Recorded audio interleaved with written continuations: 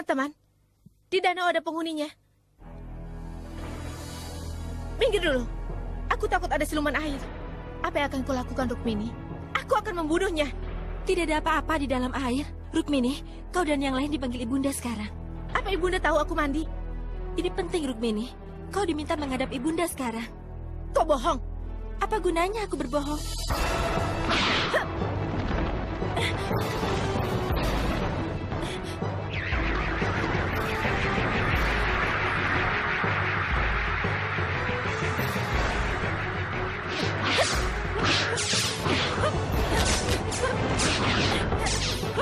啊不要动啊